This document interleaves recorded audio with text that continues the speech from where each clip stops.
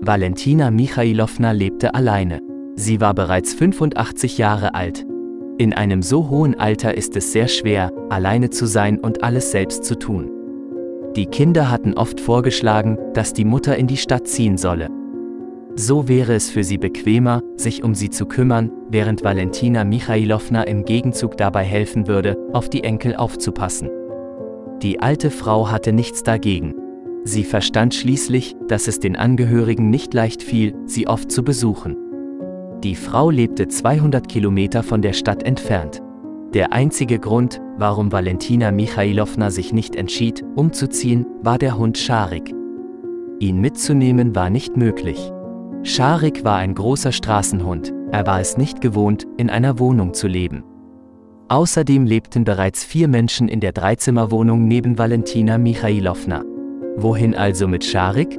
Dennoch verstand sie, dass es keine andere Möglichkeit gab, sie musste in die Stadt ziehen. Ein Freund ihres verstorbenen Mannes, Viktor Nikolewitsch, stimmte zu, auf den Hund aufzupassen.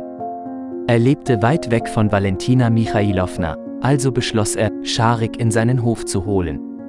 Als Valentina Michailowna den Hund zu Viktor Nikolewitsch führte, schaute Scharik nur verwirrt um sich.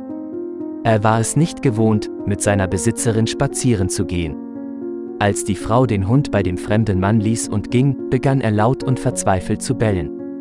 Er sah nicht, wie Valentina Michailowna hinter dem Tor in Tränen ausbrach, denn der Hund war ihr sehr wichtig. Mach dir keine Sorgen, mein Freund.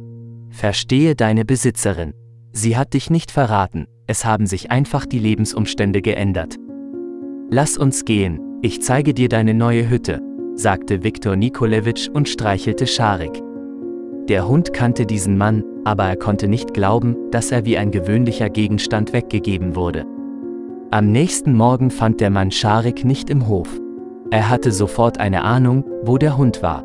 Der alte Mann blieb kurz sitzen und machte sich dann auf den Weg, den Ausreißer abzuholen.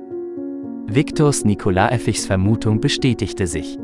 Scharik saß vor seinem alten Zuhause und starrte mit unerträglicher Qual in den Augen auf es. Valentina Michailowna war nicht mehr dort, die Kinder hatten sie eine Stunde nachdem die Frau Scharik abgegeben hatte abgeholt. Deine Besitzerin wird nicht zurückkehren. Versuch zu verstehen, mein Freund. Dieses Haus wird bald verkauft und neue Leute werden darin leben, sagte der Mann und weinte.